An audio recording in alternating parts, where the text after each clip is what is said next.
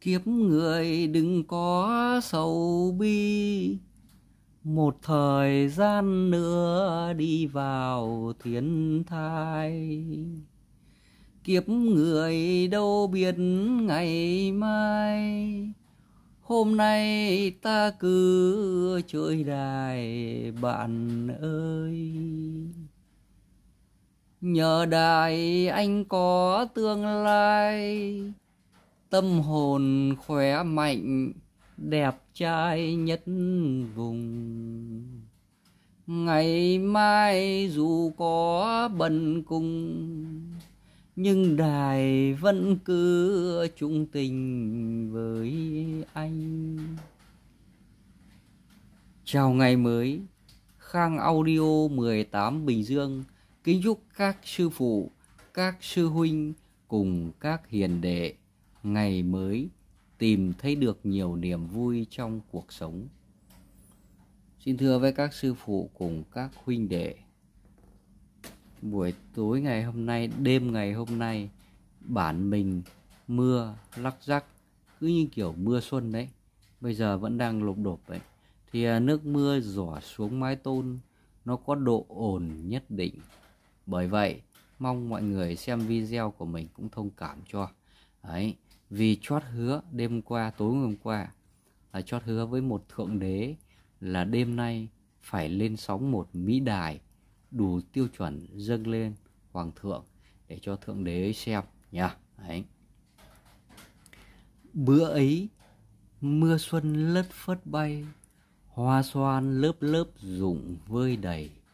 Hội trèo làng đặng đi ngang ngõ, mẹ bảo thôn đoài hát tối nay vâng mẹ bảo thôn đoài hát tối nay còn đêm nay Lão Nông Chi Điền Khang Audio 18 Bình Dương giới thiệu tới các sư phụ cùng các huynh đệ khắp ba miền Bắc Trung Nam một Mỹ Đài. Đó là Mỹ Đài có tên là Sanier, có model là M 9835K M 9835K đây. Đấy, M9835K Một Mỹ đài đủ tiêu chuẩn để dâng lên Hoàng thượng. Thế nên không không cần phải nói nhiều cho nó tốn thời gian. Vâng ạ, ai cũng biết rồi. Đấy, ai cũng biết là dâng lên Hoàng thượng thì là tiêu chuẩn nó phải như thế nào rồi Đúng không ạ? Đây. Cổ nhân vẫn dạy rằng là của bền tại người. Đài này không phải là đài mới sản xuất, thế nhưng nó lại mới đến cái mức như vừa mới sản xuất. Thế tức là cái người chủ trước có khi là người ta không dùng, người ta bỏ trong tủ và người ta lại còn khổ, phủ thêm một cái khăn voan lên chốc nữa. Thế nên là nó mới mới đến mức không thể mới hơn được nữa nha mới lắm rồi đây đấy. Đã mới rồi đã mới rồi mà nó lại còn zin nữa. Phên là trong các thứ nó còn zin nguyên bản. Khiếm khuyết của Mỹ Đài này. Là xin thưa với các sư phụ cùng các huynh đệ radio ấy, radio cái băng sóng AM bắt rất chi là nét. Cái băng sóng chung ấy bắt rất chi là nét.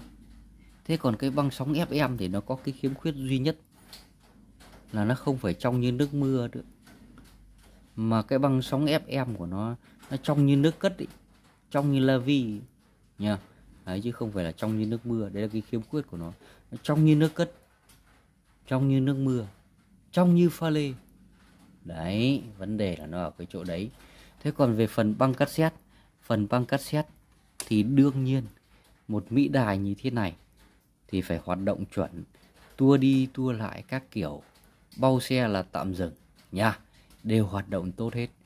Loa zin nguyên bản tổng thể cả cái đài này còn nguyên bản còn zin khơ nha còn nguyên zin và thóc thì xin thưa với các sư phụ cùng các huynh đệ. Mình thì à, à gọi là nông dân nha đầu óc nó chậm chạp. Nhiều khi bỏ à, vợ đi chợ mua thêm cho mình ít iốt về để ăn vã thì vợ nó bảo như thế không ổn. Đấy, thế nên là mình phải dùng một cái phần mềm mà bữa trước có ông cu quan nó học công nghệ thông tin thì nó tư vấn cho nó bảo, chú về tải cái phần mềm này về để chuyển đổi từ thóc sang tiền. Nha ấy. thì à, đơn vị à, số đo của người nông dân là thóc mà mình là nông dân nha ấy thế mà mình phải lại phải chuyển đổi từ thóc sang tiền. Thì chiếc đài này khi chuyển từ thóc sang tiền nó có cái mức giá là 1 triệu 850 nghìn đồng không bao gồm phí ship vận chuyển. 1 triệu 850 nghìn đồng không bao gồm phí ship vận chuyển cho một Mỹ Đại Sanier có model M9835K 9835 nhá Đấy. con này nó còn cao đời hơn con 3 vạn 9000 tại vì con này là 9 nghìn 8 Đấy thì mình cũng vẫn săn tìm tại vì có một người anh em mà yêu cầu mình tìm con con đài à, có model là 3 vạn 9000 thì cứ như con này là 9835 nó cao hơn đấy còn con kia thì chưa tìm được đấy.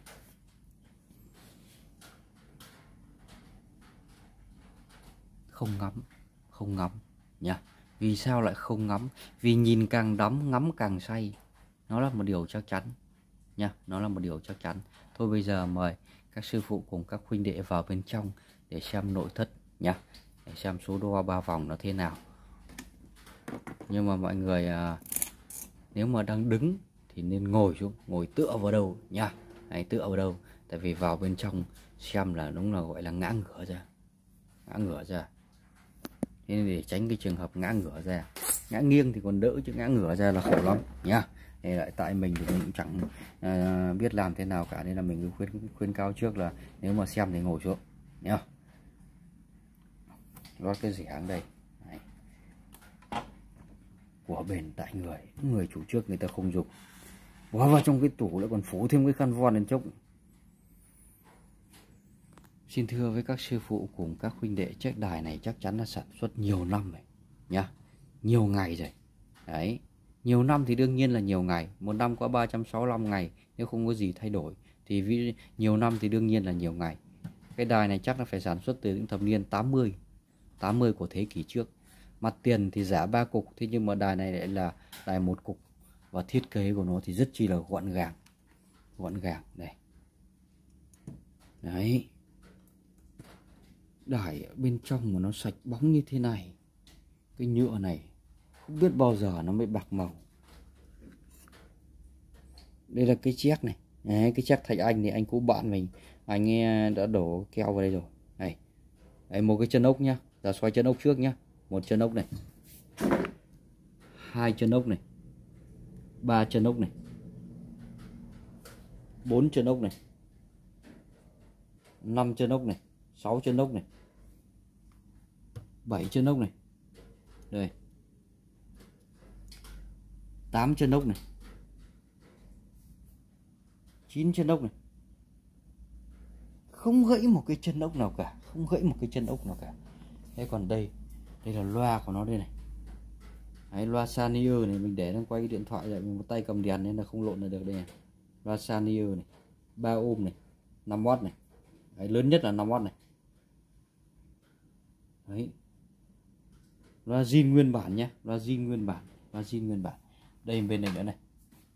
Đây Sanyo này. Đấy. Loa zin nguyên bản nhá. Check thạch anh này này. Đấy. Còn đây là cái bộ cơ của nó. Bộ cơ này. Bộ cơ từ thời cổ này. Motor này vẫn còn motor zin DC 9V này. Đấy, tức là motor này chạy điện áp 9V Bánh đà này thì bánh đà to như cái đầu uh, đầu công technic hay là technic để dây dợ là đi rất chi là gọn gàng chứ không lằng nhằng nhá. Còn đây là cái vỏ đằng sau này này. Một cái chân ốc này. Không bị gãy một cái chân nào cả. À, chân ốc này. À, chân ốc này. Giờ đến chân dưới nhá. Chân dưới lại phải kéo cái này ra. Đây chân dưới đây. Đây chân dưới này đây chân này. Đấy, đấy chân vẫn thoi ốc này đấy. đây cái chân nữa này. Đấy, chân này. Chân này nó không như chân Sony. Chân to tướng xong vào đây nó mới thu lại nó côn. Nó thu lại. Đấy thì là khả năng gãy là rất chi là thấp. Nên ngày xưa cái sản những cái sản phẩm mà sản xuất từ ngày xưa bao giờ cũng vậy. Người ta sản xuất nó thiên về cái độ bền thiên về độ bền. Nhưng không như bây giờ. Bây giờ thì người ta ờ, không, không không nghĩ đến cái vấn đề độ bền còn đây là cái cái cái anten này. Cái cái, cái chỗ truyền tín hiệu anten vào phần radio của bằng sóng FM này đây. còn zin như thế còn zin toàn tập. Thế mới đủ tiêu chuẩn để dâng lên hoàng thượng. Đây là biến áp nguồn đây. Biến áp nguồn đây này. Biến áp nguồn cũng zin biến áp nguồn cũng zin. Đây đấy biến áp nguồn zin. Chưa có quấn lại con lủng gì cả. Nhá. Cái đằng sau à? là cái quai sách này. Cái quai sách đây cái đằng sau này. Ôi thôi thôi, thôi. khó lắm nha.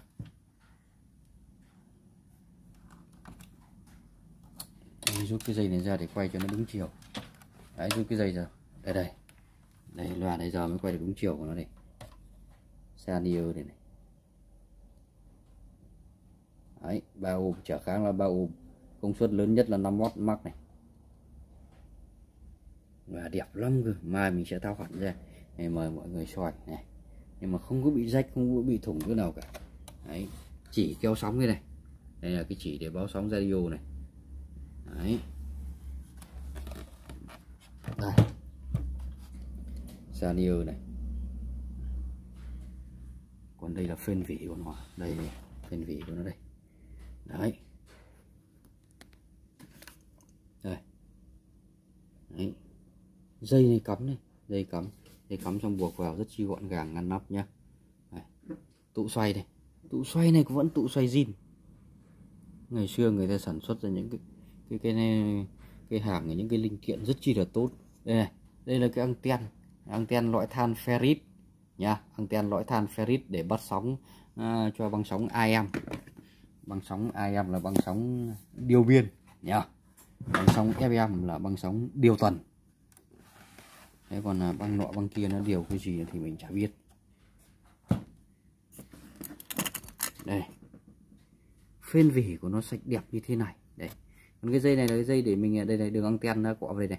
Đây mình lấy cái à, dây à, hàn nó vào để kiểm tra anten xem nó à, kiểm tra sóng cho nó có nó bắt nó có nét không. Đây. chưa có sửa chữa gì đây? Phên vỉ của nó như thế này. Cái đài bao nhiêu năm rồi mà phiên vỉ của nó như thế này thì đài quá tốt chứ không phải là đài tốt nữa. đài này đài quá tốt, chất lượng quá cao. Không biết bao giờ nó mới hỏng cái chiếc đài này. Kể cả về kết cấu nhựa cho đến phên vỉ đến phên vỉ của nó zin như thế. Là điểm thứ nhất. Điểm thứ hai, mà chẳng may mà nó có hỏng nhá. Tại vì sinh có hạn tử bất kỳ. Chẳng chẳng biết lối nào mà lần được. Nhiều khi lá vàng còn ở trên cây mà, nhưng mà lá xanh đã rụng xuống nhá. Thì nếu như mà mà chẳng may mà nó có trần vân tịt thì, thì liên hệ với mình. Chẳng làm sao mà phải gãi đầu gãi tai liên hệ với mình. Là mình bốc thuốc kê đơn mình có một cái phác đồ điều trị để cho nó rên rỉ trở lại. Nó là một điều chắc chắn nhá. Kết đây này. Nguyên cái phên đấy là cái phên à, vỉ này cơ này loa lắp hết được cái mặt đằng trước đằng sau này. Chỉ để chống sau lắp mỗi cái biến áp nguồn không? Đúng là xứng đáng để sưu tầm. Đây con này nó đạt tiêu chí nhá nó đạt tiêu chí, ba tiêu chí, thậm chí là nhiều tiêu chí ở trong toán học gọi là n n tiêu chí. Nghe hay, nghe thì hay, bày thì đẹp, nhìn thì phê pha nha giá thì lại mềm mại và êm ái. Đấy. Thì cái cái đài này theo cái, lúc nãy mình mở, mình nghe theo cái sự cảm nhận của mình ấy, thì thứ nhất là cái âm thanh âm thanh này là âm thanh coi như là từ những thập niên 80 của thế kỷ trước. Thì đương nhiên rồi hai cái loa này nó sẽ thiên về trung âm. Chứ nữa hai cái loa này nó không thể đánh như loa thùng được nó không thể đánh nguyên hình nhá Đấy, thế nhưng mà trung âm của nó rất chi là bay nhá rõ nét. Những cái tiếng ờ, phần về phần trung nó nảy nghe sướng lắm nhá ở đây cũng được bố trí một hai ba bốn năm. Năm cái biến áp chỉnh nhá năm cái chiết áp chỉnh đấy năm cái chiếc áp chỉnh để điều chỉnh tần số đây này. Bộ equalizer này graphic equalizer này. Đấy, điều chỉnh tần số. Ở đây thì người ta có đề giải tần thế này. Người ta có đề giải tần này đấy, đấy như một cái đề cái vấn đề nó về kỹ thuật thì mình cứ cứ điều chỉnh 50 cân này làm sao mà nghe cho nó vừa cái tai của mình là mình để thôi. Xem loáng thế này chữ lên con này nếu mà thượng đế nào mà mà Trần Văn Chốt mà bắt em nó về làm thê thiếp hầu hạ mình, chắc chắn là mình phải cho cái địa chỉ để mua thêm cái khăn von để phủ lên trông. Chứ không thì đúng là gì?